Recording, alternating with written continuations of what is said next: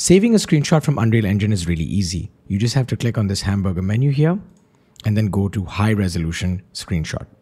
When you click on this, you'll get a pop-up with some settings that you can choose for your screenshot, such as size multiplier, date and timestamp as image name, or even crop.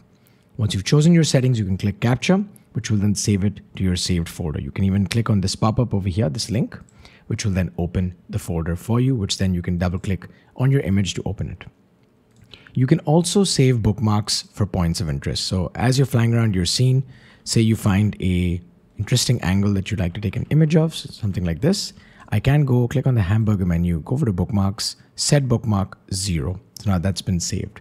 And let's say as I'm flying around my scene, I like this image right here. I like this point of interest right here.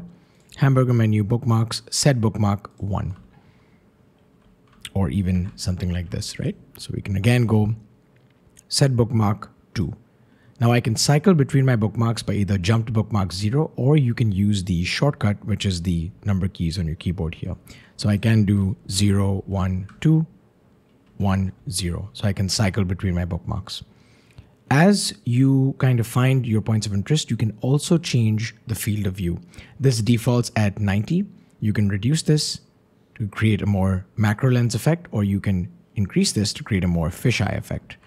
So you can use this as well when you know deciding uh, how you want to frame your scene. So I've gone here for 40, which is a more macro shot, so I can frame something like this in my scenes here. So you can use these settings to kind of choose how you want to frame your screenshots, and once you've decided, um, you know how you want to frame your scene, you can then export it out of Unreal Engine.